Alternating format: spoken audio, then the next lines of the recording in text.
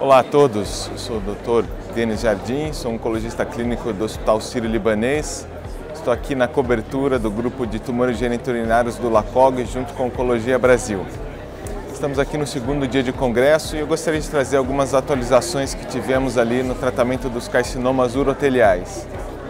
Tivemos a apresentação de um estudo randomizado chamado RANGE, que ele incluiu pacientes com carcinoma urotelial metastático que haviam falhado uma primeira linha base de platina.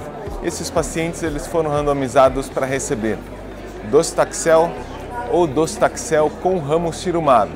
A pergunta era se a adição de um antiangiogênico melhoraria o desfecho desses pacientes. Os dados foram atualizados e comprovaram os que a gente já sabia anteriormente, ou seja, a taxa de resposta maior, sobrevida livre de progressão é maior com a adição do ramucirumab, mas infelizmente a sobrevida global não foi positiva para esse grupo de pacientes. Tem uma grande expectativa hoje o que aconteceria com os pacientes que recebem a imunoterapia como segunda linha, já que esse é o tratamento preferencial atualmente, mas infelizmente poucos pacientes foram incluídos nesses estudos. Mas de qualquer maneira parece não haver um benefício diferencial se o paciente foi ou não tratado com imunoterapia. Docetaxel com ramucirumab pelo menos parece aumentar a sobrevida de progressão e resposta mesmo nesses pacientes. Na perspectiva ainda do carcinoma material, tivemos algumas atualizações e alguns dados novos bem interessantes que vale a pena conferir com calma. Um deles é um estudo Keynote testando pembrolizumab em tumor urotelial localizado não músculo invasivo que falharam ou que são resistentes ao BCG. A gente sabe que essa população de pacientes, o tratamento padrão é cistectomia radical, a gente carece de alternativas terapêuticas e aqui foram apresentados os primeiros dados com o uso de pembrolizumab sistêmico para esse grupo de pacientes.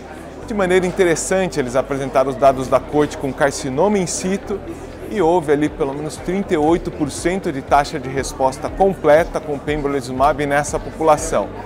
Isso compara-se favoravelmente a outros estudos de fase 2 com quimioterápicos intravesicais que já foram incluídos, inclusive já foram aprovados para essa indicação.